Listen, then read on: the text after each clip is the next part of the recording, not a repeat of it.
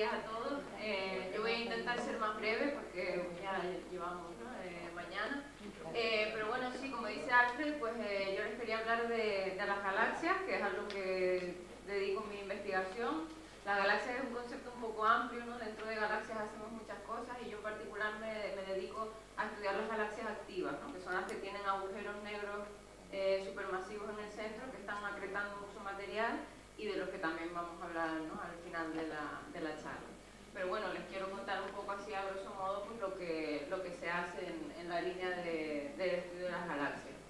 Y bueno, como dice Alfred, son unos objetos muy interesantes, no solo porque la mayoría de ellas son preciosas, ¿no? como esta que vemos en la imagen, que ha sido observada con el Gran Telescopio Canaria, sino porque realmente son eh, las que nos permiten estudiar el, el universo ¿no? a gran escala porque ustedes piensen, por ejemplo, que las estrellas que vemos nosotros en el cielo, en, cualquier noche, son estrellas de nuestra propia galaxia, ¿vale? No, vemos estrellas de otras galaxias. Entonces, eh, más allá de la nuestra, ¿no? ahora les hablaré un poco de, las escalas, eh, pues lo, que podemos ver precisamente son otras galaxias, ¿no? algunas que están en el vecindario y otras que están a distancias pues, casi tan grandes como, como la edad del universo. Eh, entonces, pues estudiando esas galaxias lejanas, vamos a poder estudiar el universo cuando, cuando era muy joven, ¿no? Al poquito tiempo de formarse. Pero bueno, tranquilo que ahora les, les explico un poco más en detalle. Entonces, dentro del zoo de, galaxias que tenemos en, en, nuestro vecindario, por así decirlo, ¿no? Eh, tenemos, pues estos serían un poco los, los dos extremos de, del vecindario eh, galáctico, ¿no? Tendríamos por un lado las galaxias enanas, como la gran nube de Magallanes, que el nombre Suena un poco contradictorio, ¿no? pero es una galaxia de las más pequeñitas, está muy cerca de nosotros y tiene 10 millones de estrellas, que puede parecer mucho, pero no es nada si lo comparamos con el otro extremo del, del Sol, ¿no? que son las galaxias elípticas eh, gigantes, como esta que, que, les muestro aquí, que tiene eh, 10 billones de estrellas, ¿no? o sea, nada que ver, son dos cosas totalmente distintas, eh, salvo, que, salvo que las dos son, son galaxias. Y las galaxias eh, se componen de, tienen estrellas, tienen gas, tienen polvo, eh, tienen más planetas, por supuesto, eh, y tienen también materia y energía oscura, que necesitamos para explicar muchas de las cosas que, medimos. Entonces, dentro de este zoo de, de, galaxias que tenemos en nuestro, en nuestro vecindario, como es la nuestra, ¿no? Porque nosotros vivimos en la Vía Láctea, que es una galaxia del montón, un poco como en, medio de, a caballo de las dos que les, que les había comentado, ¿no? Una galaxia espiral, eh, con una forma bastante común, eh, que tiene 200 mil millones de estrellas, o sea que también, eh, también está bastante bien, pero claro, no llega a ser la, la gigante que veíamos antes. Y estos, estas imágenes que están viendo es un time-lapse del cielo de Canarias, que no sé si lo han conocido ya o, o lo conocerán, pero bueno, son imágenes de la, de la Vía Láctea tomadas desde el Teide. Eh, cuando vayan el, el, jueves pues podrán verlo. No se ve, siempre me preguntan que si estas imágenes eh, se corresponden con lo que uno ve en realidad, ¿no? A ver, no, o sea, sí que son reales, pero se obtienen haciendo astrofotografía, ¿no? Lo que hacemos es que pones una cámara con seguimiento, eso y la dejas exponer, ¿no? Durante mucho tiempo para que se vaya acumulando la luz ¿vale? O sea, dejas exponiendo la cámara mucho tiempo y entonces acabas obteniendo pues imágenes tan chulas como estas, ¿no? Es como, imagínense si nuestro ojo fuera capaz de, de seguir capturando luz, ¿no? No de ver instantáneamente, sino de ir acumulando la luz, pues veríamos algo así, ¿no? Pero gracias a Dios tenemos las cámaras. Esto también es lo que hacemos con los telescopios, ¿no? O sea, nosotros cuando queremos estudiar un objeto muy débil, lo que hacemos es que apuntamos nuestro telescopio del tamaño que sea al objeto que queremos estudiar, lo vamos siguiendo, ¿no? Con el, mismo movimiento que, hace la Tierra cuando gira, y, y e integramos la luz durante, pues durante el tiempo que haga falta, ¿no? Horas, ¿no? Entonces todo eso va a un detector que va acumulando la luz, y gracias a eso podemos obtener imágenes profundas para, para hacer nuestras medidas, ¿no? Así es como funciona. Y bueno, pues eso, lo que estamos viendo en estas imágenes son distintos planos de, de, lo que podemos ver de nuestra galaxia. Porque claro, nosotros estamos dentro de, de, esta galaxia, ¿no? la Vía Láctea, estamos en la periferia, en la, en la, zona exterior. Entonces, cuando miramos al cielo en una noche despejada, pues lo que vemos es eh, pues la parte de la galaxia que podemos ver eh, desde donde estamos. ¿no? Vemos el centro galáctico, vemos eh, algunos otros brazos espirales, etcétera, ¿no? Y es, no es más que polvo y gas que se acumula en, en ciertas regiones de, de, la galaxia, ¿no? como son el centro y los brazos. Esta es una, un, esquema, ¿no? un dibujo de cómo, cómo sería nuestra galaxia de acuerdo a las medidas indirectas que nosotros tenemos, porque claro, em, al menos hasta la fecha, no podemos sacar una foto de, de, nuestra galaxia, podemos sacar imágenes de otras galaxias similares o, o, que estén más o menos cerca, pero todavía no hemos conseguido salir de nuestra galaxia como para poder tocar, tomar una foto. Pero gracias a medidas indirectas, pues eh, sabemos que más o menos esta es la pinta que tiene, ¿no? Tiene una zona central, que es la que se conoce como el bulbo de la galaxia, que es donde estarían las estrellas más viejas de, la galaxia. Eh, los brazos espirales, donde se están formando nuevas estrellas, todas estas regiones azulitas que vemos aquí, son cunas de formación estelar. Ahí hay mucho gas y por las fricciones que hay en los brazos espirales se están formando eh, nuevas estrellas, ¿vale? Y en el centro de, nuestra galaxia sabemos que hay un agujero negro, de esto les, les, hablaré un poquito más al final. De hecho, es uno de los objetivos del, del experimento de Event Horizon, ¿no? que hace poco nos ha mostrado las imágenes de, por primera vez de un agujero negro en otra galaxia, en M87, pero uno de los objetivos es también hacer imagen de, nuestro propio agujero negro. Lo que pasa es que es complicado por lo que les decía, ¿no? al estar nosotros, nosotros estamos aquí, vamos a buscarnos estamos aquí, ¿no? En, un brazo espiral de, la galaxia. Entonces, claro, mirar hacia el centro desde aquí, pues implica atravesar, ¿no? Todo ese gas que tenemos eh, en el camino hacia el agujero negro, ¿no? Entonces, se puede hacer, pero va a ser más complicado que, haber hecho la imagen, por ejemplo, de, M87, que es una galaxia que está más lejos, pero está de cara, ¿no? Entonces, nos es favorable para, ver el centro.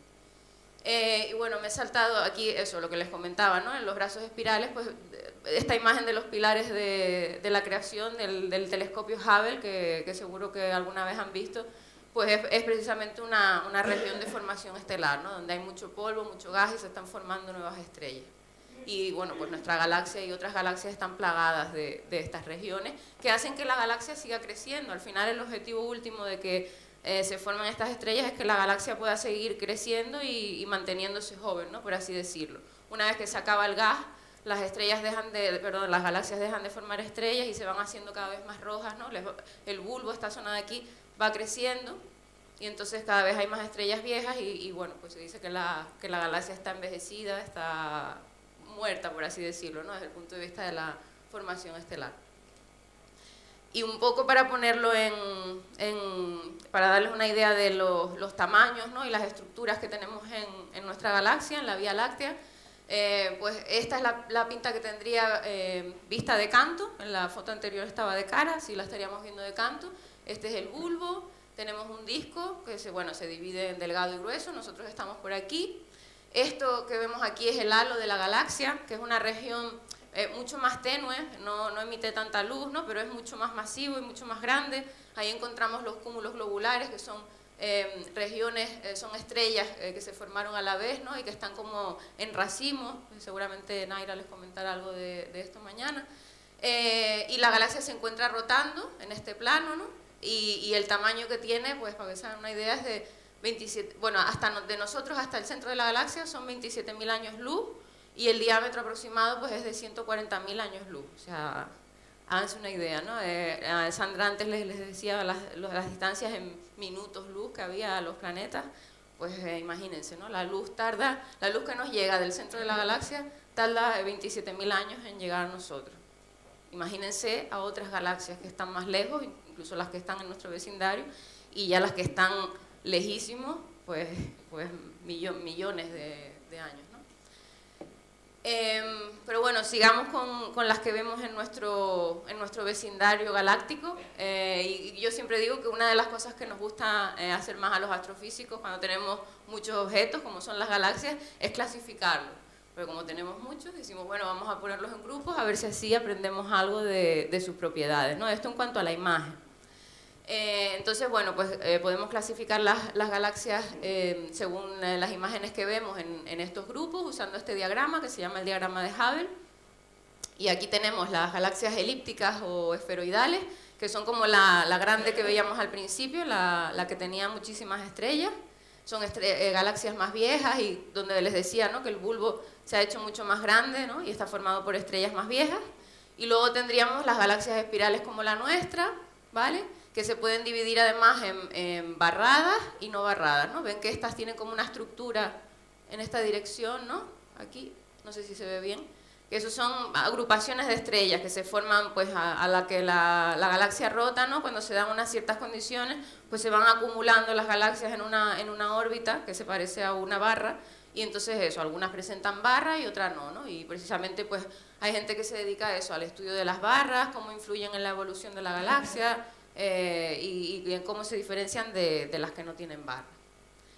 Eh, en cuanto a lo de la clasificación de las morfologías, que es algo que, hace mucha gente, eh, no sé si conocen este proyecto que se llama Galaxy Zoo, que ahora se ha expandido a, muchísimas otras áreas, ¿no? que es un, es un proyecto de cooperación ciudadana que, cualquiera puede participar eh, y se los recomiendo para que, para que se lo comenten a, los alumnos si quieren, porque bueno, es una herramienta online y eh, te registras y es como un pequeño tutorial, ¿no? Te enseñan a, clasificar galaxias, ¿no? Es un, usan un cartografiado muy grande que hay del cielo, el Sloan Digital Sky Survey, que ha, que ha obtenido imágenes de, de, prácticamente todo el cielo, del, sobre todo del, del norte, eh, y entonces te, te, van mostrando imágenes ¿no? de, de, distintas galaxias y te, te, enseñan, ¿no? Esta tiene barra, esta no tiene barra, esta es elíptica o es, esfero, o es em, espiral. Entonces te hacen como un pequeño entrenamiento y luego ya tú puedes clasificar todas las galaxias que quieras, ¿no? Es como una especie de juego. Pero la gracia de todo esto es que esas clasificaciones que utiliza, que puede hacer cualquiera, eh, y que de hecho ya han hecho millones de personas, luego se utilizan artículos científicos, porque cuando, cuando hacemos eh, clasificación de galaxias, ¿no? y esto es algo que, que yo he hecho en el caso de, de, unas galaxias en particular, normalmente lo que hacemos em, varias personas hacen la clasificación y luego lo ponemos en común para ver si estamos de acuerdo, ¿no? porque pues, el ojo es el mejor detector que hay ¿no? y, la mejor manera que tienes de, de clasificar las cosas, pero bueno, tú puedes tener tus sesgos, ¿no? entonces lo ideal es tener un grupo de personas que lo haga y luego pones los resultados en común. Pues esto es como hacerlo a lo bestia, ¿no? O sea, millones de personas clasificando los mismos objetos y luego eso, como les digo, pues se ha utilizado para artículos científicos que se, que se han publicado, ¿no? O sea, que yo creo que está muy bien y, es muy interesante. Em, y bueno, eh, esto en cuanto a lo que se ve, ¿vale? Estamos hablando de la materia visible, lo que, lo que podemos ver con nuestros telescopios y con nuestros instrumentos que tenemos hoy en día pero sabemos que la mayor parte de la masa de las galaxias y también de la energía es oscura, que no la vemos, ¿vale? Pero la necesitamos para explicar varias de las cosas que medimos. Y una de las cosas, por ejemplo, son las curvas de rotación. Esto que estamos viendo aquí es una, una pequeña una simulación muy, eh, eh, muy sencilla de una galaxia espiral eh, rotando y bueno, pues básicamente, o sea, si simplemente cogemos la masa que vemos, ¿no? Tomamos esta simulación y la ponemos a rotar, la curva de rotación que, que nosotros eh, deberíamos tener es la azul, ¿vale? Pero cuando, cuando hacemos medidas reales de, de, galaxias que están rotando, lo que encontramos es lo rojo. Sabemos que las galaxias rotan eh, mucho más rápido de lo que deberían para la masa que, vemos, ¿no? La que, emite luz. Entonces la única manera de explicar estas curvas de rotación es que haya masa que no estamos viendo, que de hecho es la mayor parte de la masa. Entonces eso es lo que, lo que se conoce como, como la materia oscura, ¿no? Que, que, básicamente serían partículas que, que interaccionan muy débilmente con las partículas que emiten luz, por eso no las vemos, y no emiten radiación electromagnética, por eso no, no, emiten luz. ¿no? Entonces, es lo que están intentando medir durante, desde hace tiempo en el CERN, por ejemplo, ¿no? con todos los experimentos que tienen allí, hasta ahora sin éxito. Hay mucha gente que está dedicada a la búsqueda de la materia oscura de, de diferentes maneras. Y es un poco, bueno, no sé, José Alberto les contará un poco más en detalle, pero un poco como el éter ¿no? de, hace muchos años. O sea, realmente es algo que necesitamos para explicar lo que vemos. Y es verdad que si o sea, ya se le, se le suponen una serie de propiedades y las cosas cuadran, ¿no? Y hay, hay diferentes cosas que podemos explicar gracias a la materia oscura, pero no la hemos detectado, ¿vale? Entonces, eh, pues es algo que, eh, que necesitamos detectar para, para confirmar eh, lo que estamos haciendo, porque otra posibilidad es que pues las leyes de la física tal y como las conocemos eh, estén mal planteadas y, necesitemos hacer algunas modificaciones. aunque sin embargo vemos por otro lado como la teoría de la relatividad, que ha hecho muchísimas predicciones, pues se han cumplido, ¿no? como por ejemplo en el caso este de la detección del agujero negro y la forma de, de la sombra y demás. ¿no? Entonces yo creo que, que, sí que vamos por buen camino y probablemente la materia oscura es lo que, es lo que, lo que realmente explica estas cosas que vemos, como las curvas de rotación, pero bueno, eh, lo ideal sería que nuestros colegas del CERN, por ejemplo, pues la detectasen pronto. ¿no? Y luego la, energía oscura, pues es lo que necesitamos también para, mm, para explicar la, expansión del universo, ¿no? Esta aceleración que está sufriendo eh, el universo, el universo se expande y, y, algo lo está acelerando además. Y entonces hace falta pues esa, esa energía oscura para, para explicar las velocidades que se miden. Pero bueno, de todo esto les hablará más mi, mi compañero José Alberto. Entonces, bueno, como, como les decía, Em, el hecho de las galaxias, o sea, estrellas, como les decía, podemos observar las de, las de nuestra galaxia y algunas de las más masivas que están en las galaxias más cercanas, ¿vale? Pero para observar el, el universo cuando, cuando era joven necesitamos las galaxias, ¿vale?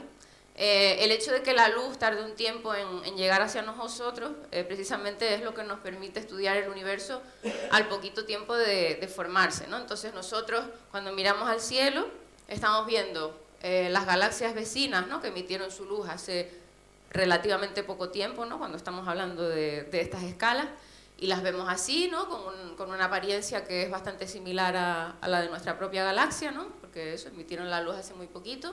Vemos algunas que están, eh, que están más lejos y que por tanto su luz ha tardado muchísimo más en llegar a nosotros, entonces la luz que nos llega de esas galaxias es la de, eh, la de estas cuando estaban en su adolescencia, por así decirlo, y las más lejanas que somos capaces de ver, ¿no? pues emitieron su luz hace 11 mil millones de años, que era cuando el universo estaba en sus primeras etapas, ¿no? cuando, era, cuando era un niño. Entonces, claro, como la luz tarda todo ese tiempo en llegar a nosotros, ¿no? la luz que estamos viendo ahora es de las galaxias cuando, cuando se estaban formando. Y esto realmente es una suerte, ¿no? porque estamos no podemos, nosotros no podemos seguir la evolución de una galaxia, ¿no? No podemos ver cómo una galaxia nace, crece, evoluciona y muere. Pero sí que podemos ver distintas fotos, ¿no? De distintos momentos de la vida de, diferentes galaxias, ¿no? Como si viéramos fotos de personas, de diferentes personas, ¿no? Cuando son niños, cuando son adolescentes, y así podemos tener una idea de cómo la, la humanidad va, va, creciendo, ¿no? A medida que se hace vieja, pues algo así, ¿no? Y esto lo podemos hacer gracias a que la luz tarda un tiempo en, en llegar a nosotros. Entonces ven como las, morfologías son bastante diferentes, ¿no? O sea, ahora, ahora vemos cosas con más estructura, ¿no? Con estas barras, los bulbos que les comentaba. Y las galaxias cuando, cuando se estaban formando, cuando eran muy jovencitas, pues tienen una pinta como más grumosa, eh, tienen más polvo, eh, tienen otra composición, eso debido a que todavía les queda mucho tiempo eh, de rotar, de formar estrellas, etcétera, ¿no? pues las, digamos que las estructuras no están tan bien definidas como, como lo están las galaxias más evolucionadas, como, la nuestra. ¿Y cómo han evolucionado esas galaxias para, pasar de ser a como eran cuando se formaron a, a como son ahora? Pues pensamos que han evolucionado sobre todo a través de fusiones, fusiones entre galaxias. Porque ya veremos después también que las galaxias no son entes aislados en el universo, ¿no? sino que están en interacción con otras galaxias. Entonces, esto es una simulación eh, hecha aquí en el, en el, astrofísico por un colega, Marval Cells, donde vemos una galaxia enana que pasa muy cerca de una galaxia más masiva y lo que pasa es que eh, pues estas galaxias se acercan mucho y se acercan mucho hasta que choca y, y, finalmente es absorbida por la, por la galaxia más grande y pasan a formar una galaxia más masiva. ¿no? Y además, no solo la galaxia aumenta su masa, sino que la pequeñita le está aportando nuevo gas para formar nuevas estrellas. Es una, una, forma, lo que hablábamos antes de que la forma de que las galaxias se mantengan jóvenes es formando estrellas, ¿vale? Cuando consumen todo el gas ya no pueden formar nuevas estrellas. Pero las fusiones, que son algo muy común, sobre todo las de galaxias masivas con, con galaxias más enanas, les aporta nuevo gas, ¿no? Aunque sea una galaxia pequeña, les está dando un chute de, eh, de gas ¿no? y de energía para, para, poder formar nuevas estrellas. Y bueno, esto, la manera de estudiar estas cosas, pues, como, les comentaba antes, ¿no? nosotros no podemos ver cómo una galaxia se fusiona con otra, qué pasa, cómo acaban y demás. ¿no? Nosotros lo que vemos son imágenes, estos son imágenes reales, de galaxias que están en interacción. ¿no? Este es un sistema muy conocido que se llama los ratones, por las colas de marea que, presentan. Son dos galaxias que han pasado una muy cerca de la otra y entonces pues están completamente perturbadas, ¿no? O sea, la, estructura se ha perdido, ¿no? No tienen ni siquiera forma de, galaxias y acabarán eh, fusionándose la una con la otra, ¿vale? Pero nosotros lo que vemos es esto y lo que vamos a ver pues durante toda nuestra vida. Y luego hay sistemas más evolucionados como esta, que se llama la antena, que ya son las dos galaxias ven que pues, han pasado probablemente por esta etapa y aquí ya pues eh, se están empezando a, juntar, ¿vale? Entonces la manera de saber, por ejemplo, qué dos galaxias se fusionaron en este caso, ¿no? cómo eran estas galaxias antes de, de pasar la una tan cerca de la otra, es comparar con simulaciones los observadores como yo, que nos dedicamos a analizar datos que tomamos con los telescopios, necesitamos a los teóricos para que nos hagan estas simulaciones. Esta es muy sencillita, pero ya les mostraré después una, una realmente compleja, ¿no? que luego nosotros comparamos con nuestras observaciones. Nos necesitamos mutuamente, los teóricos y los observacionales, porque ellos lo que hacen, por ejemplo, en este caso, es eh, cogen una galaxia de X masa y otra de, de, de otra masa diferente y las hacen chocar ¿no? en la simulación y prueban distintas orientaciones de las galaxias, distintas mm, eh, ratios de las masas, hasta que den con, la, con el resultado que nosotros observamos en la realidad. ¿no? Y esa es la manera de que nosotros sepamos cómo eran esas galaxias antes de fusionarse. Y eso tiene su interés pues, porque eh, precisamente como las fusiones tienen esa importancia ¿no? en el cómo evolucionan posteriormente las galaxias, pues necesitamos estudiarlo para, para saber cómo las galaxias han llegado a ser eh, lo que observamos hoy. Em, vale, entonces, eh, pues lo que les decía, ¿no? el, observar galaxias eh, que están a diferentes distancias nos da información de cómo era el universo en sus distintas etapas, ¿no? cuando se empezaron a formar las primeras estrellas y galaxias, y nosotros estaríamos por aquí. ¿no? Y la edad del universo es de 13.700 millones de años. ¿no? Hace 13.700 millones de años que fue el Big Bang, y, después pues se empezaron a dar las condiciones para unos, años después para que, para que se pudieran formar las primeras estrellas y después, las, por agrupación, las primeras galaxias. Y eso es lo que queremos observar, ¿no? Queremos ir cada vez más atrás en el tiempo, ¿no? O cada vez más lejos en distancia para poder estudiar el universo cuando se estaba formando, ¿no? Cuando estaba eh, empezando a formar la, materia que, que podemos ver. Y para eso necesitamos telescopios en el espacio y también en tierra, y por eso necesitamos cada vez más grandes, ¿no? Para poder captar lo que les decía, observar durante horas y poder captar la luz de los objetos que están más lejanos. Porque claro, cuanto más lejos, más difíciles de observar, más débiles. Y, bueno, tomar una imagen es una cosa, pero ya verán luego para obtener un espectro, ¿no? que es realmente lo que nos dice la composición, la distancia, necesitamos luz. Y para obtener esa luz necesitamos espejos cada vez más grandes y necesitamos también ir al espacio, porque en el espacio nos quitamos el efecto de la atmósfera que la atmósfera a nosotros nos viene muy bien como personas, pero mm, a los astrofísicos nos viene fatal porque, claro, nos distorsiona la, la imagen que nos llega de la luz que nos llega del universo.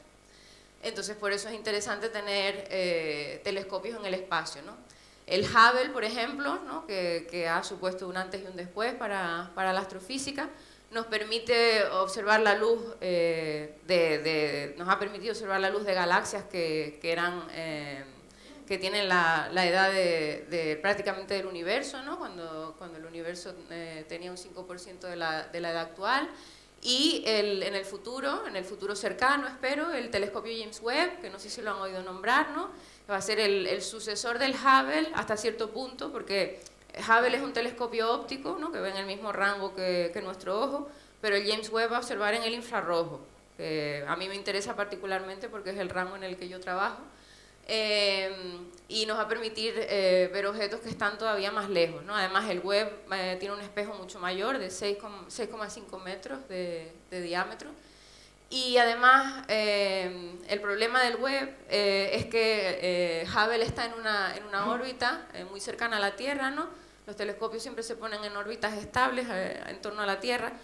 Y, y, Webb tiene que, ir, tiene que ir más lejos por su tamaño, tiene que ir a una órbita que se llama L2, y el problema es que, claro, el Hubble si se estropea lo podemos ir a reparar, porque está aquí al lado.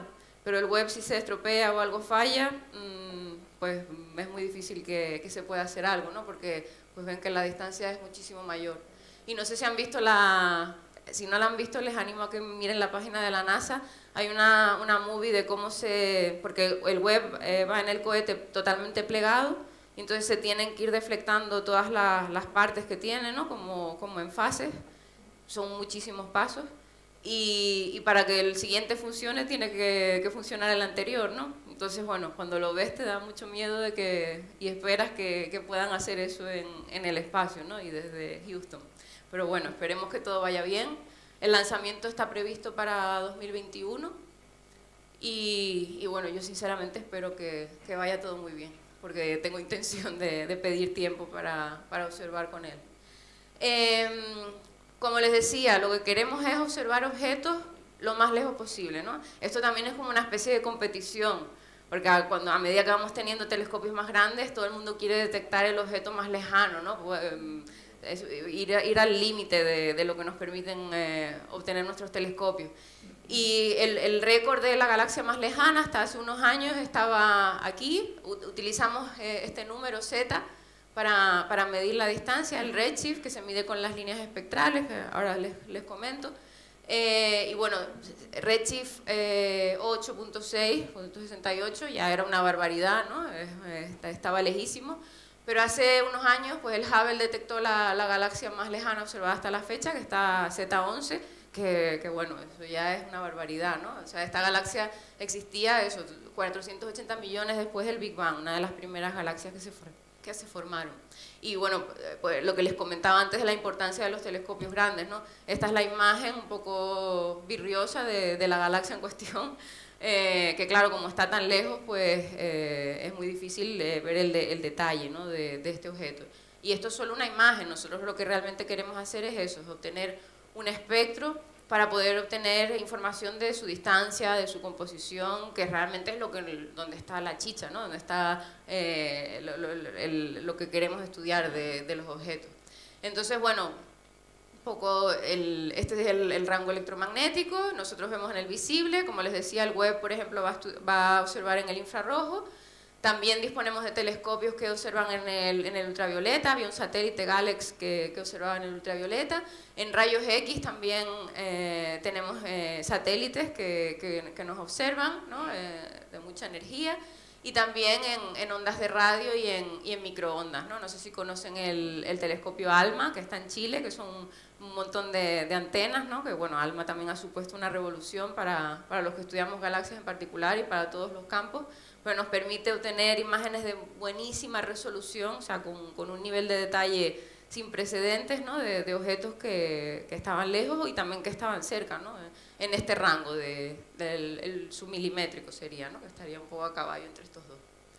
Entonces, bueno, es importante cuando, cuando observamos nuestras galaxias y, y realmente cualquier objeto astrofísico, observarlo en distintas longitudes de onda ¿no? del espectro porque eh, tienen una pinta muy diferente dependiendo de dónde mire. Entonces, por ejemplo, esta es una galaxia activa, Centauro A, eh, que además es muy chula porque es una galaxia elíptica, como las que veíamos al principio, la, la aquella tan grande, ¿no?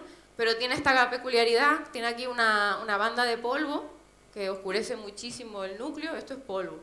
Y entonces así es como lo vemos en el visible, en el infrarrojo vemos ese polvo brillar, o sea, en el óptico nos oscurece el polvo y en el infrarrojo lo ves brillar, porque lo que hace es que absorbe los fotones que le llegan del núcleo y los remite en el rango infrarrojo, ¿no? Por eso a mí me interesa tanto el, el, rango infrarrojo, porque estudio objetos que tienen mucho polvo y entonces nos interesa observar en ese rango, ¿no? Para poder caracterizarlo, ver dónde está, eh, cómo está distribuido, ¿no? Y las propiedades que tiene.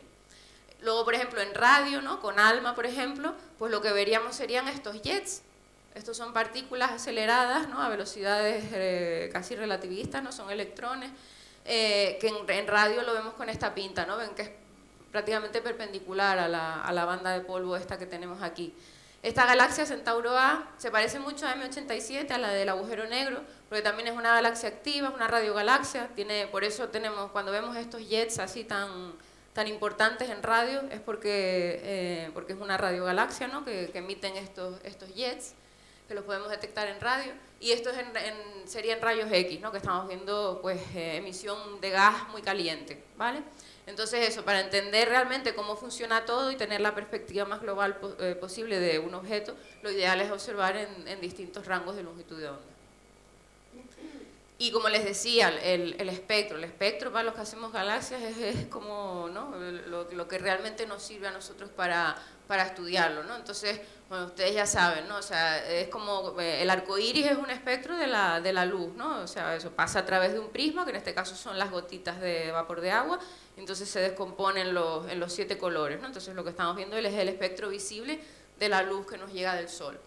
Em, pero nosotros sabemos, por, lo podemos ver en un laboratorio, ¿no? si tenemos un gas, por ejemplo, un gas de sodio, y lo iluminamos ¿no? y miramos, lo que vemos son líneas, ¿no? líneas espectrales que caen siempre en la misma posición. ¿no? Sabemos que en no sé cuántos angstrom está la línea del sodio 1, en no sé cuántos angstrom está la de, la de sodio tal y cual.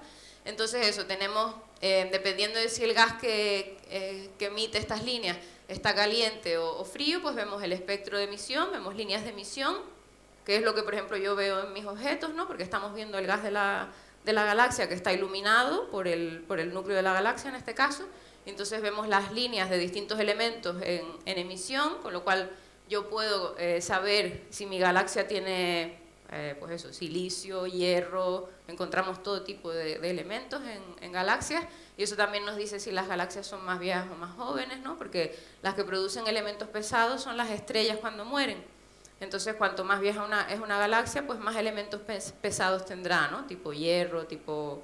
Y cuanto más joven es, pues todavía carecerá de esos elementos, ¿no? Y eso es una de las cosas que, una de las formas que tenemos de estudiarla. Y luego en las estrellas, pues también vemos el, el espectro de absorción, ¿no? Pero las líneas caen siempre en la misma longitud de onda, ¿vale?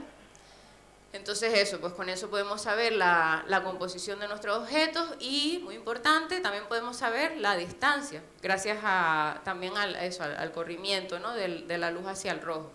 O sea, estos son, por ejemplo, espectros eh, ópticos de dos galaxias diferentes situadas a distintas distancias. ¿no? Nosotros sabemos que para una galaxia que esté aquí, al lado nuestro, ¿no? que lo, lo que llamaríamos Z0, eh, pues estas líneas tienen que estar en, una cierta longitud de onda, ¿no? Por ejemplo, H alfa tiene que estar a 6.762 angstroms, ¿vale? Entonces, si nosotros nos vamos a hacer a una galaxia que esté un poquito más lejos, lo que veremos es que todas las líneas del espectro están desplazadas hacia el rojo, ¿vale? O sea, en vez de estar H alfa, por ejemplo, a 6.700 X angstroms, eh, pues estará, por ejemplo, a 7.000, y todas, todas las líneas habrán sufrido ese desplazamiento. Entonces, pues gracias a eso podemos calcular la distancia a la que está nuestro objeto, ¿no? Lo que hacemos siempre eh, para medir galaxias que no sabemos a la distancia que están es eso, identificamos grupos de líneas, ¿no? Pues siempre está ahí la misma distancia entre ellas, ¿no?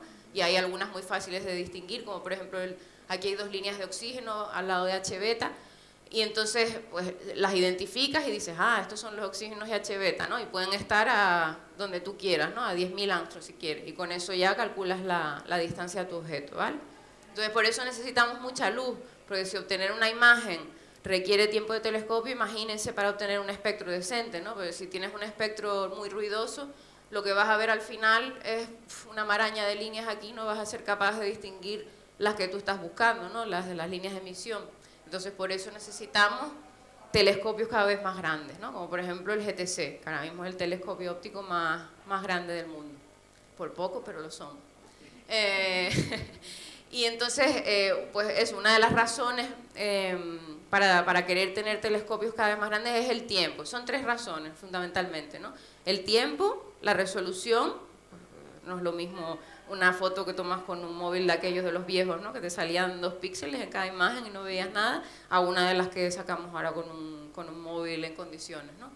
Eh, y también el, la luz, que, eso, no podemos perder fotones. Cuando estamos observando eh, galaxias tan lejanas, ¿no? Eh, un compañero mío decía que perder un fotón es como pegarle a un padre, o sea, es una cosa que no, no puedes dejar, no te puedes permitir, ¿no? Necesitamos capturar toda la luz que podamos.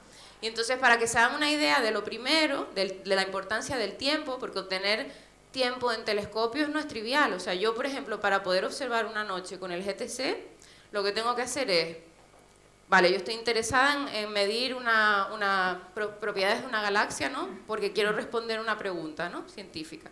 Entonces lo que tengo que hacer es escribir una propuesta de observación donde yo explico, quiero observar esta galaxia porque esto me va a permitir, bla, bla, bla, bla, y además vamos a hacer esto y vamos a analizar los datos. O sea, tengo que hacer una buena propuesta competitiva que luego va a analizar eh, un comité, ¿no? junto con todas las que se envían, las enviamos dos veces al año. Eh, y, se va a poner en, la propuesta se evalúa, ¿no? se hace un ranking y las primeras son las que consiguen tiempo. Hay un factor de sobrepetición ¿no? de, de los telescopios y no siempre consigues tiempo, tienes que tener una propuesta buena y competitiva. Y entonces eso, es difícil conseguir el tiempo y además una noche de observación eh, cuesta mucho dinero, ¿no? Entonces, pues es algo con lo que, hay que optimizar. Y entonces, para que se hagan una idea de los tiempos, pues miren, eh, estos son distintos telescopios, ¿no? El Keck, el VLT, que tiene 8 metros de diámetro, estos son diámetros de los, de los espejos.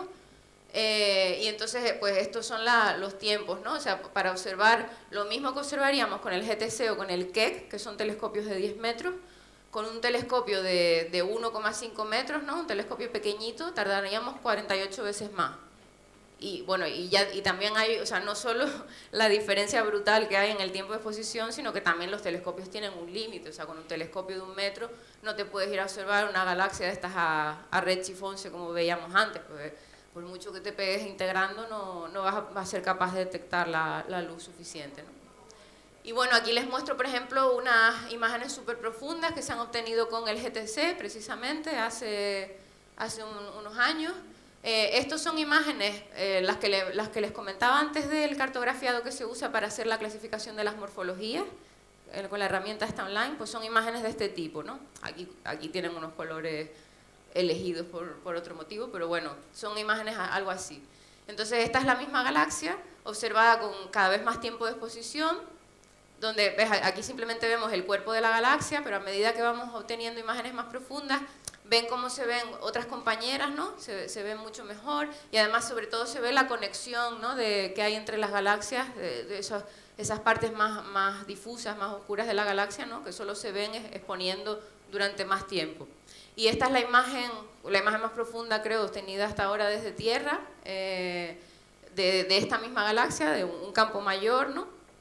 Y vemos eso, pues estas estructuras, ¿no? Que, conectan eh, distintas, eh, distintas partes ¿no? de, su entorno y que solamente somos capaces de ver pues eso, con, con telescopios grandes e integrando en este caso durante ocho horas, ¿no? que es una barbaridad. La gente que, que busca cosas súper super difusas y demás. Yo normalmente con una horita tengo para las cosas que quiero hacer. Y luego, por ejemplo, miren, esto es otra, otra cosa... Mmm, esto es algo que usamos también para cuando queremos medir propiedades y distancias de galaxias que están lejos, ¿no? que como les comentaba es complicado por, porque son muy débiles.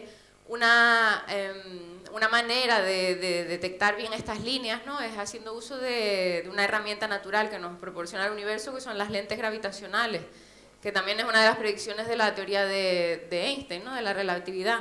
La idea es que en, en muchos, bueno, no en muchos casos, pero, pero en en bastantes casos, ¿no? se da la circunstancia de que nosotros queremos observar una, una galaxia ¿no? que está bastante lejos y entre, nosotros entre nosotros y esa galaxia que queremos observar hay otra galaxia, otro cuerpo, ¿no? que está en, más o menos en el, en el mismo camino óptico eh, y entonces la luz de la galaxia que nosotros queremos observar, ¿no? la que está de fondo, al pasar cerca de ese objeto masivo, pues se, se ve perturbada, ¿no? se, se deflecta un poco y entonces nos llega eh, magnificada por ese efecto de, se llama una lente gravitatoria, ¿no? la luz se distorsiona y nos llega también con, con, una amplificación mayor. Entonces podemos ver un objeto que está, por ejemplo, a redshift 2, ¿no? a una distancia ya considerable, con el brillo que, que, tendríamos una galaxia que está muchísimo más cerca. ¿no? Entonces esto es gracias a las lentes gravitacionales.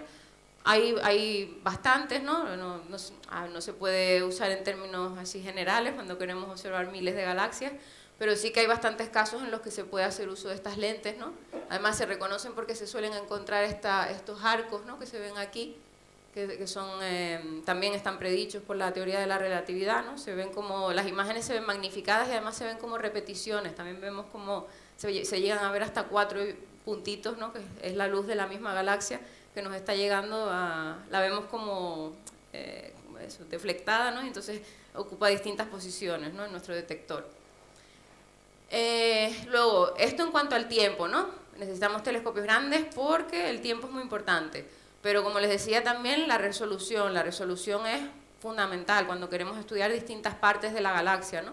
Entonces, para que se hagan una idea de la importancia del tamaño en cuanto a resolución, vamos a ver una comparativa entre imágenes tomadas con el GTC, en este caso en el rango infrarrojo, eh, y comparación con el satélite Spitzer, que, estuvo observando eh, pues durante muchos años, ¿no? es un telescopio pequeñito que también observaba en este rango, en el infrarrojo medio. Eh, entonces, estas son las, las imágenes de, de, estas galaxias observadas con Spitzer, ¿no? donde ven lo que les comentaba antes, de los cuatro píxeles. ¿no? Se ve que están muy pixeladas, o sea, la información espacial que tenemos de estas galaxias es muy limitada. Y cuando las observamos desde Tierra con un telescopio como el GTC, pues ven ¿no? que cambia muchísimo. Ya podemos observar estructuras, ¿no? vemos si las galaxias tienen un núcleo, tienen, o tienen varios núcleos, regiones de formación estelar, que también las vemos en el infrarrojo. O sea que la, resolución es algo muy, muy, muy importante ¿no? Eh, cuando queremos estudiar los detalles de las galaxias.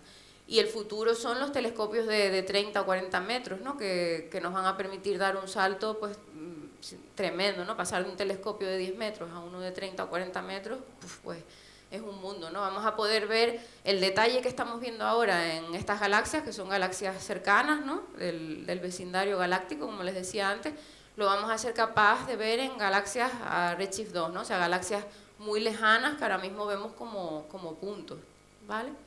Y eso, como les decía, nos da mucha información eso de cómo ha ido evolucionando la morfología de estas galaxias a medida que, han ido evolucionando, ¿no? haciéndose más viejas. Y bueno, volvemos a, nuestra galaxia, a la Vía Láctea, para decirles un poco, en, eh, ponerla en situación, ¿no? De dónde estamos nosotros, ¿no? Y, bueno, pues nosotros estaríamos aquí, este es nuestro, lo que se llama el grupo local, ¿no? Eh, son nuestras galaxias más, más cercanas.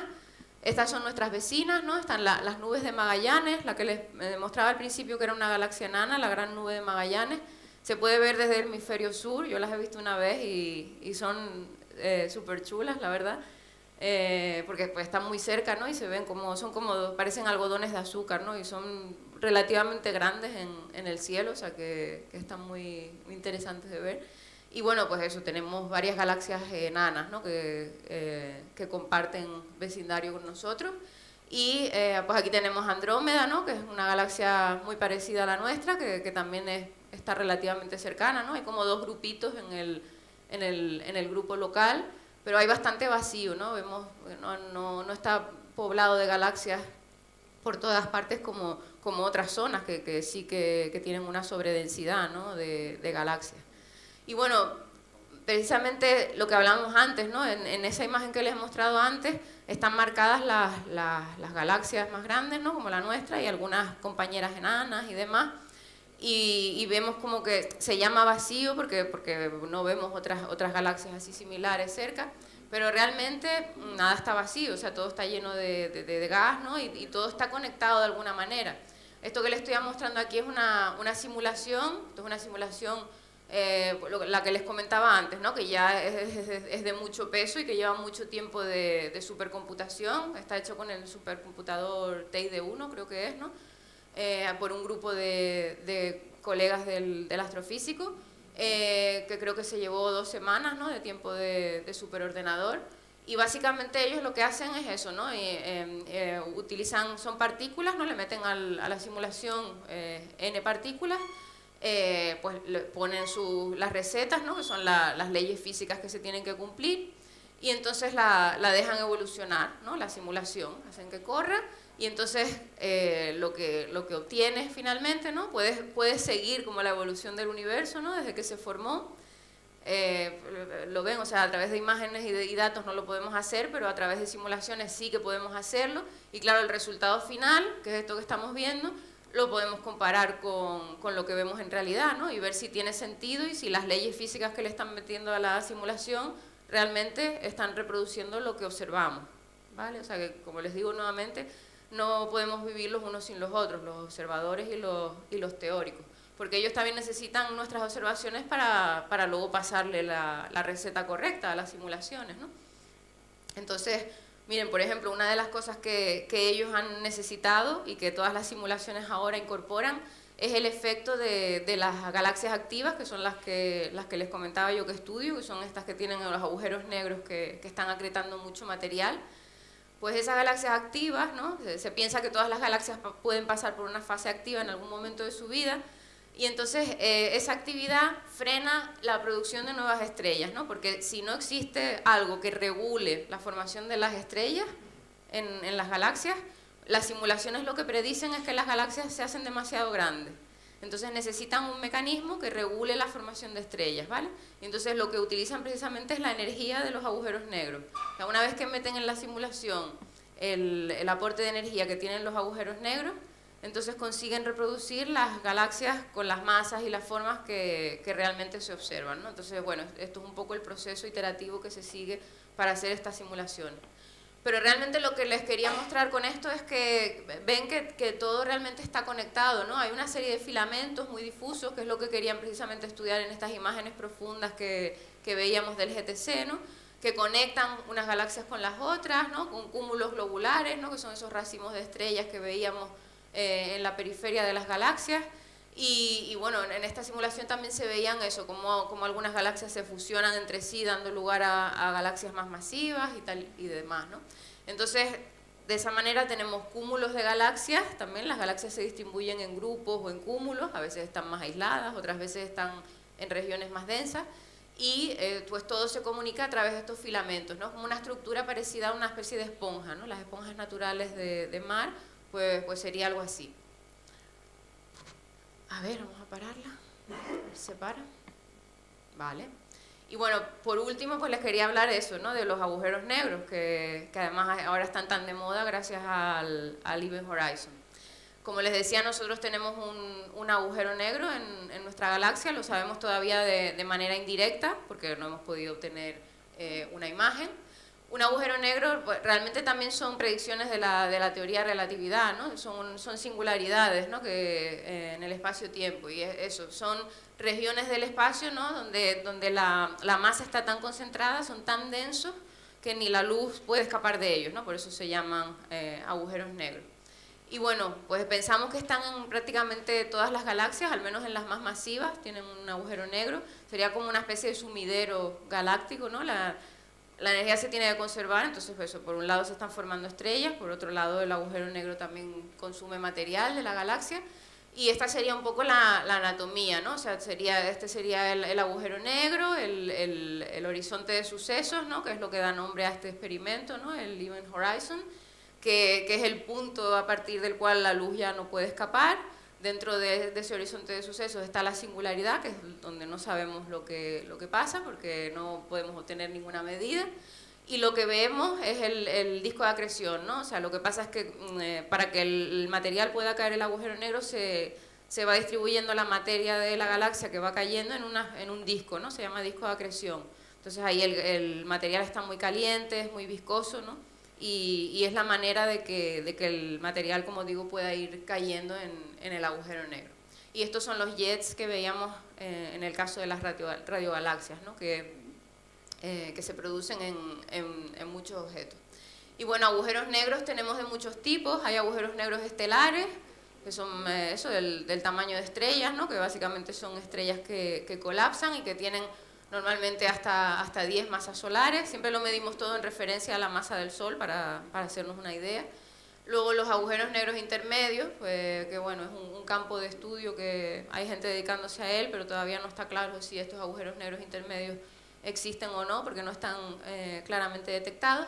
Y los que yo me dedico a estudiar son los agujeros negros supermasivos o gigantes, ¿no? que son, pues eso, entre 100.000 y a 10 mil millones de veces las masas del Sol, ¿no? en una pequeña región del centro de la, de la galaxia. Esto es una simulación de un agujero negro estelar, que muchos compañeros del IAC lo observan también, con una estrella compañera, esto sería una binaria de, de, rayos X, se llama, ¿no? una estrella que colapsó y se convirtió en un agujero negro. Este es el disco de acreción que les comentaba, a partir de, de donde el material va cayendo, el material de la compañera va cayendo hacia el agujero negro. En el caso de las galaxias no tenemos esta estructura, sino tenemos esto rodeado por galaxias, ¿no? que va cayendo poco a poco. Eh, y eso, bueno, pues, esta sería un poco la, anatomía dentro de la galaxia y así pensábamos que, que, era lo que, lo que debíamos detectar hace, hace años. ¿no?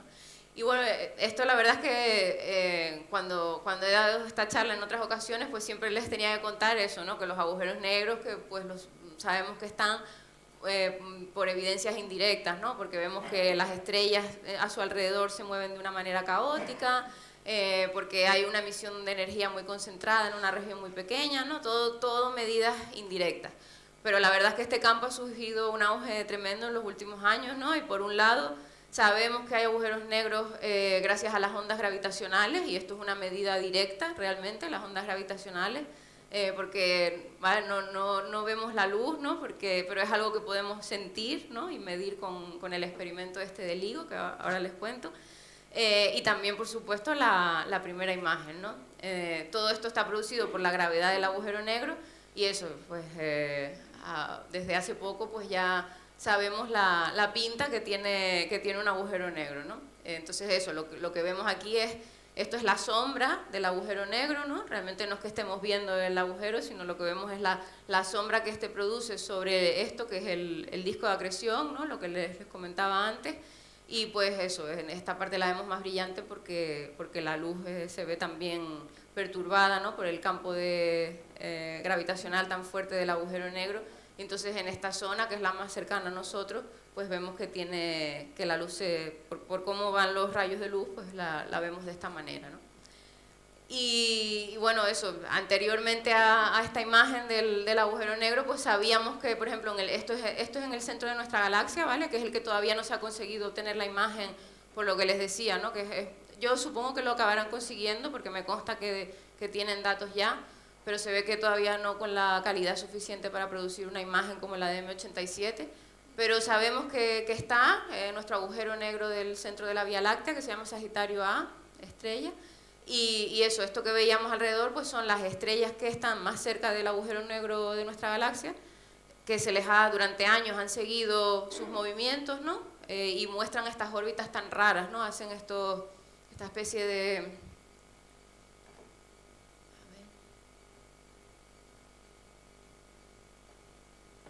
Sí, o sea, esto, vale, esto, eso lo han, seguido durante, durante eh, años con el, con el Keck y entonces han visto que describen estas órbitas, ¿no?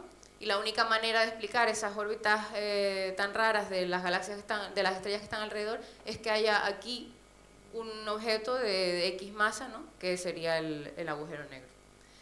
Eh, para que se hagan una idea también de las dimensiones, aunque seguro que ya lo han visto, ¿no? Pues eso, el agujero negro eh, que tiene una masa de un millón de masas solares, más o menos, eh, tiene el tamaño un poco más del, del sistema solar, ¿no? no sé si se ve bien el, la órbita de, de, Plutón aquí, ¿no? Y hasta dónde ha llegado la Voyager. Eh, o sea que es algo realmente eh, muy compacto si piensan la masa que tiene, ¿no? O sea, es una, una barbaridad. Por eso tienen ese efecto en, en las galaxias que los albergan.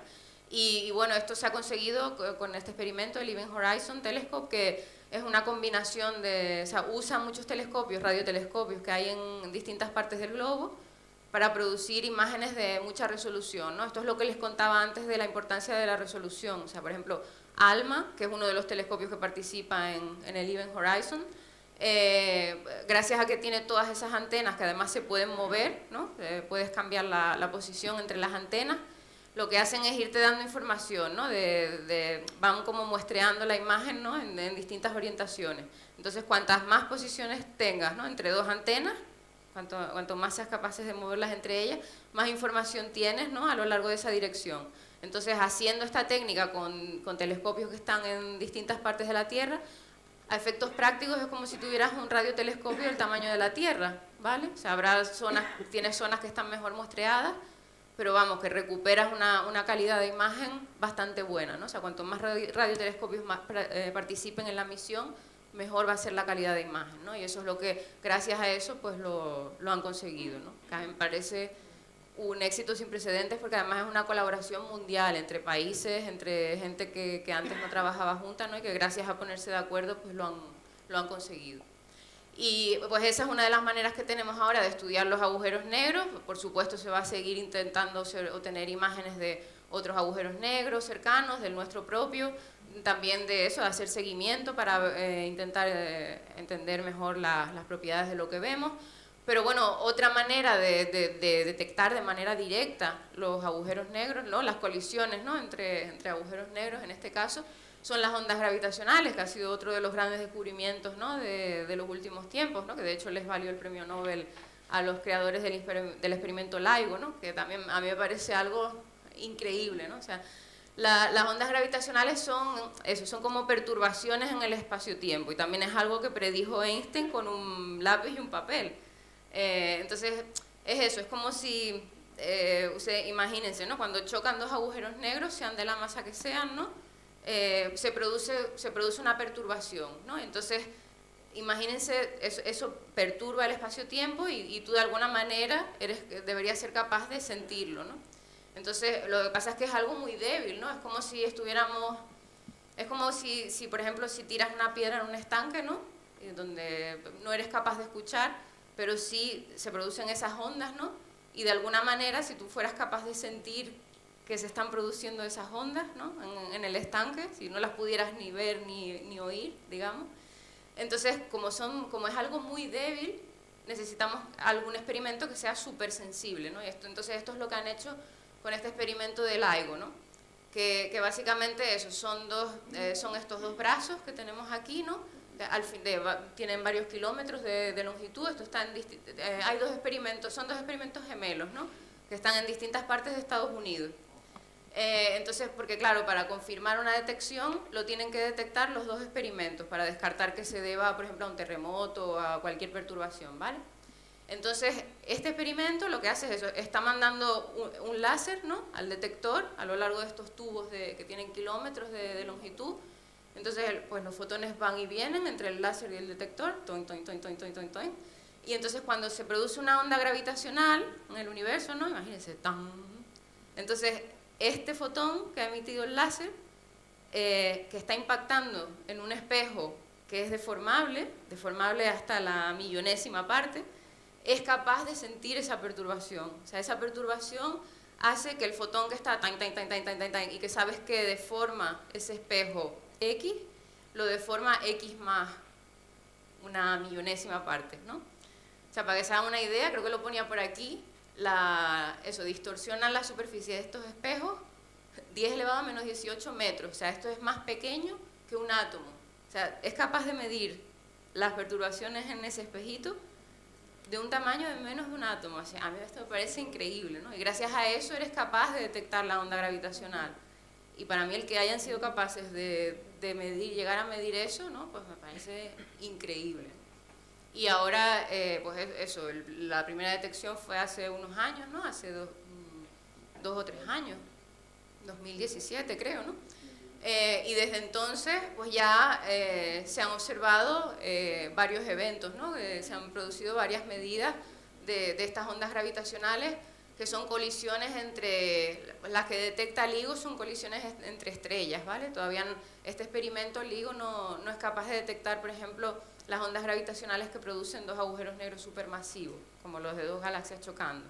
Hay una misión prevista, LISA, que se lanzará creo que es 2030, algo así, que ya sí detectará estos agujeros negros de mayor masa, pero los que se están detectando, pues estos son masas solares, ¿no? Son objetos de entre 1 y 40 masas solares más o menos, ¿no? Eso son colisiones entre, entre un agujero negro y una estrella de neutrones y cosas así, ¿no? O sea que eso, pues, ya somos capaces de sentir ¿no? las perturbaciones en el espacio-tiempo que producen los choques entre, entre agujeros negros.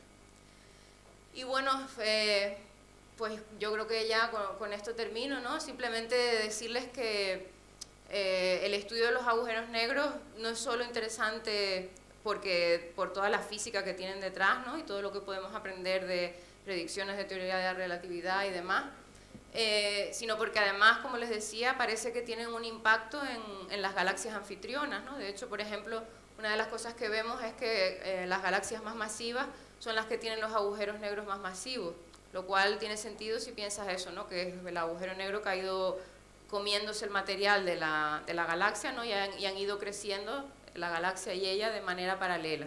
Y además eso, el, el, agujero negro de alguna manera regula la formación de nuevas estrellas, ¿no? hace que produce un efecto ¿no? de, calentamiento del gas y de perturbación del gas ¿no? que está disponible para formar estrellas, que, controla de alguna manera, ¿no? hace que las galaxias no se disparaten a la hora de, formar estrellas y de esa manera no, se hacen tan masivas. Y, pensamos eso, que, cualquier galaxia que tenga un agujero negro en algún momento puede, puede pasar a, que esté activo, ¿no? puede transformarse en una galaxia activa que tienen esta pinta, eh, simplemente por el ritmo al que está acretando energía, ¿no? Una perturbación o algo puede hacer que, el agujero negro eh, se alimente del material de manera más eficiente y entonces pues el, el brillo sube, ¿no? Y, y, esta galaxia la clasificaríamos como galaxia activa, que son las que, las que estudio yo. Y bueno, aquí dejo algunas de las preguntas que, que nos quedan por resolver, que, que, son muchas más que estas, afortunadamente, porque gracias a eso tenemos trabajo. Y por ejemplo eso, pues la materia oscura, confirmación, ¿no? necesitamos detectarla. Eh, queremos saber también si existen agujeros negros en el centro de todas las galaxias o de las más masivas y, y cómo importantes son en la evolución de las mismas. Eh, también eso, queremos estudiar las fusiones, ¿no? Para saber el papel que han tenido en la, en la, evolución y sobre todo, como les decía, pues eso, detectar con el James Webb y con los telescopios de 30 a 40 metros eh, cómo eran las primeras galaxias, ¿no? Cuando, cuando el universo estaba eh, empezando a formar las, las primeras galaxias. Y eso es todo. Muchas gracias.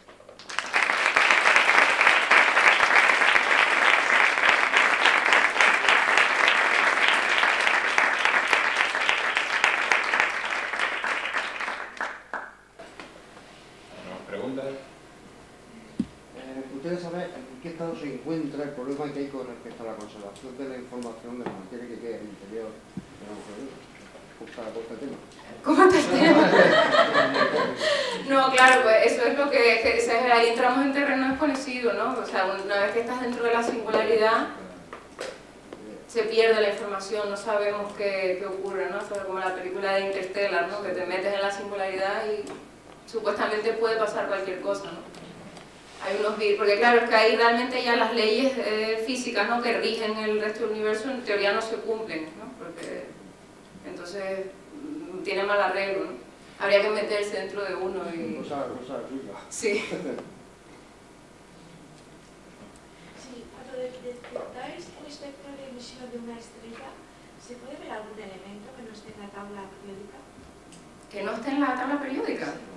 Bueno, eso sería descubrimiento, pero no, al principio, claro. Sí, o sea, lo que vemos es eso, distintas proporciones de los que, de los que están en la tabla periódica, ¿no? Eso por ejemplo, en las estrellas siempre se ve el, espectro de absorción, ¿no? Entonces eso, pues vemos, eh, depende, ¿no? Las estrellas hay de distintos tipos, esto les comentarán a mañana, pues las más, em, las más rojas, las más, em, las más viejas y las menos masivas, pues tienen más metales, ¿no? Entonces, y las las más masivas, las más jóvenes y calientes, pues apenas tienen líneas, ¿no? Entonces, gracias a eso también clasificamos las estrellas. Y las galaxias es más complicado porque muchas veces tienen las dos cosas. De hecho, en el, en, la, en el grafiquito que les mostraba antes, normalmente lo que tienes es la combinación de las dos cosas. Ves líneas de emisión, ¿no? que te vienen, por ejemplo, de las regiones de formación estelar o, de, la, o de, también del, de la actividad nuclear, ¿no? que produce líneas de emisión en el gas eh, y luego, superpuesto a eso, tienes líneas de absorción de las estrellas que hay en la galaxia, ¿no? Entonces está bien porque puedes estudiar las dos cosas, ¿no? El gas caliente y las estrellas que tiene la galaxia. Lo que pasa es que lo tienes todo mezclado y, es complicado, ¿no? O sea, en el caso de las galaxias lo que hacemos es ajustar modelos de distintas poblaciones de estrellas y así sabes eso, ¿no? Estas, estas líneas que están aquí, las bandas, son bandas de absorción estelares, Y, y sí, pues son de distintos elementos, pero elementos de la tabla periódica. básicamente en todo el universo son los mismos que son los de la tabla periódica. Mm. Les recuerdo que cumplimos este año 150 años de la tabla periódica. Pues también es una cosa curiosa, y conocer el origen de esos elementos químicos eh, es importante. Los elementos tienen un, están clasificados según el número de, protones, entonces son uno, dos o tres, no hay medio protón o tres cuartos. Entonces los elementos que existen son los que hay y hemos visto que los elementos más complicados de la tabla son se desintegran enseguida. Entonces, básicamente contamos con que todos los elementos bariónicos que existen son los que tienen la tabla periódica. Encontramos mm, también moléculas, por ejemplo, en el espacio, no solo elementos, sino combinación de, distintos elementos formando moléculas. Pero lo que hay es, no vamos a encontrar, no sé, el material del escudo del Capitán América, porque Bueno, ojalá. los, los elementos, ojalá, pero bueno, es, es- digamos, es como encontrar algo de, de Sí, fantasía, hombre, encontrar un elemento que no esté en la tabla periódica.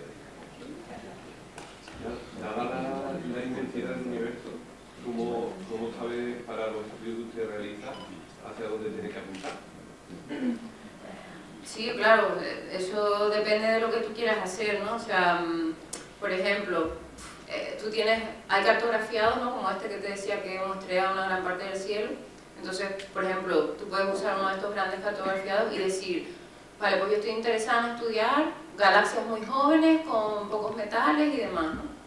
Entonces, te vas a estos cartografiados y buscas, ¿no? Y dices, venga, pues estas son mis candidatas que a lo mejor no las tienes tan bien medidas, pero por las propiedades que tienen de colores y demás, pues pueden ser, ¿no? Entonces con esas te vas, ¿no? Apuntas las posiciones y las magnitudes y demás, y te vas con tu telescopio en el rango que sea a estudiar lo que tú quieras. Y, o sea, lo que no hacemos normalmente es búsquedas ciegas, ¿no? Normalmente, si tú quieres estudiar algo, pues utilizas eso, galaxias que ya ha visto, es un cartografiado mayor, o, y depende, ¿no? O sea, luego la gente que sí está buscando em, galaxias más lejanas, ¿no? Por ejemplo, esto que decíamos de a ver quién bate el récord, pues también lo que se hace es normalmente coger zonas del cielo que no tienen estrellas en nuestra galaxia, ¿no? Que no tienen nada brillante que te moleste, sino zonas, zonas así oscuras, por así decirlo. Y entonces te vas ahí con un telescopio grande e integras, ¿no? A ver si, eh, si obtienes la, la- si, si ves las galaxias que, que estás buscando, ¿no? O sea, normalmente nunca vas a ciegas, porque claro, sobre todo con lo difícil que es conseguir tiempo y, y lo competido que está, ¿no? Pues tienes que ir con una base sólida detrás. ¿no? Mm. Depende de la pregunta que quieras responder. ¿Tenéis campos a disposición de, de la gente de observación? ¿Podéis las vuestras imágenes para que las podamos descargar y procesar nosotros? Muchas veces sí. De hecho, el- bueno, Ah, ahí está el observatorio virtual, ¿no? Yo no sé si cualquiera puede acceder a, a ello, tienes que ser, yo creo que sí, ¿no? Hay un proyecto en concreto en España, ¿no? Está eso, el- La NASA lo tiene. Sí, ¿no? Pues eso, que casi todos los observatorios tienen su, su, mm, sus bases de datos, ¿no? Y normalmente un año después de que se toman los datos son públicos, para que cualquier otro astrónomo o no astrónomo lo, lo coja y, y lo use como quiera, ¿no? Y yo creo que eso es algo muy positivo, ¿no? Pero no, no nos vamos a guardar las cosas para nosotros. Puede ser más fácil o más difícil. Normalmente hay un, un bitácora de todas las observaciones que se han hecho, qué tiempos de exposición, qué filtros. Ujú. Entonces tú buscas tu objeto y ves que el 18 de abril del 78 observaron tal cosa y tú solicitas esa imagen. No es que haya una base, porque sería descomunal, ¿no? Como Claro. base de datos. Eh, casi todo lo guardamos en cinta y, y bueno, eso lleva su tiempo el recuperarlo y enviarlo a quien lo solicita y no lo suelen pedir demasiado. Pero los grandes observatorios ya los tienen online, tú te los puedes bajar, ¿no? Sí. por ejemplo, Ahora con los nuevos mm, discos, dispositivos y demás que dan mucho más juego, pues, pues sí que se, se están De hecho, nosotros usamos sí. muchos datos de archivo, no siempre vamos a buscar datos frescos al telescopio, no, sino hay muchas cosas que se pueden hacer con datos que ya están, porque normalmente alguien toma datos de un campo, por ejemplo, ¿no? para observar una determinada cosa y luego de ahí otro puede sacar algo incluso más interesante, ¿no? porque usando los datos que están ahí. ¿Se pueden crear negros eh, en el laboratorio? Esto se intentó, de hecho, ¿no? Creo que alguien intentó, no sé si fue en el CERN precisamente, ¿no? No sé si al final lo consiguieron o no, no me acuerdo, me suena oírlo hace unos años. Eh, pero no sé si llegaron a conseguirlo. No, no, creo que no, no, porque hubiera salido en... Pero recuerdo que se habló de eso, ¿no? Mm.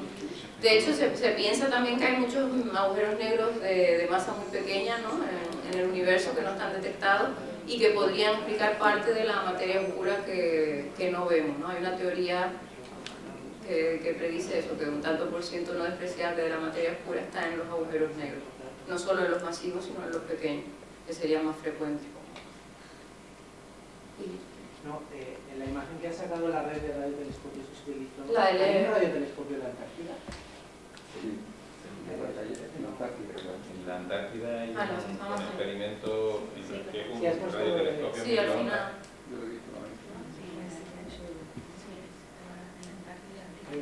Pues sí, ¿no? A ver. Sí, sí. Pues yo no lo, yo no lo sabía, la verdad. No. Es, eh, el bíceps es más o menos igual Ah, el bíceps, sí, sí, sí, sí, es verdad. Sí, sí, sí. Sí, de hecho esto tenía un resultado, al final no, no se confirmó o algo así, ¿no? Sí, sí, sí, sí, sí, sí, es uno Hay, muy parecido al que tenemos en el TID que se llama Quijote. mm. Sí, porque los radiotelescopios además son de muchos tipos, ¿no? Están los que son una sola antena, eh, como el pico veleta, ¿no? Estos son antenas de 30 metros, que es solo una antena. Y luego están los de como ALMA, ¿no? Que son muchas antenas pequeñitas que se mueven. Y Quijote, que son dos, dos telescopios pequeños. ¿Cuántos? Entonces, pero trabajan independientemente. Vale. Y, y se mueven en distintos rangos, ¿no? Pero claro, aquí se ponen de acuerdo para estudiar todos a, a una. Mm. Yo quería preguntarte sobre el trabajo colaborativo entre distintas redes, Ujú. universidades, que no sé bien cómo, cómo lo organizáis, cómo está gestionado. Y quería preguntarte en concreto sobre un telescopio que se llama FAST, que está en China, En China. que no sé, yo es que lo estuve buscando para 500 como metros actividad para el del telescopio. instituto. ¿Eh? Cuando estuve, estuvimos estudiando la forma de los domos geodésicos, entonces encontré esa información, no sé si colaboráis porque si sois de una agencia china o no. No Ah. sé bien cómo funciona, cómo os intercambiáis datos. La- otra pregunta Sí, sí. eh, es sobre la modelización. Eh, ¿Trabajáis con equipos de personas informáticas, de inteligencia artificial que os... o cómo mm, transmitís datos entre vosotros? ¿Cómo? Lo del telescopio este chino, yo la verdad es que no, no sabía, no sé si tú Bueno, sabes sobre algo. las colaboraciones, primero el radiotelescopio chino es un radiotelescopio de 500 metros de diámetro, que bueno, después del de, es el más grande del mundo ahora mismo, eh, pero es fijo, que está apoyado en un valle, Un plato. eh, igual que el de Arecibo. El más grande que se puede mover está en Alemania, en Effelsberg, tiene 100 metros de diámetro, es un campo de fútbol que pueden apuntar a cualquier parte del cielo. Y respecto a las colaboraciones, si prefieres... Sí, eso depende, ¿no? Por ejemplo, los- hay gente que está metida en grandes colaboraciones como esta, ¿no? Del EHT, que es un poco más complejo porque al de estar tanta gente involucrada ¿no? y tantos observatorios, pues tienen unas normas, ¿no? De, incluso a la hora de publicar, ¿no? O sea, pues ellos firman una serie de acuerdos, ¿no? No, no es que lo firmen en papel, pero hay un compromiso personal y oficial.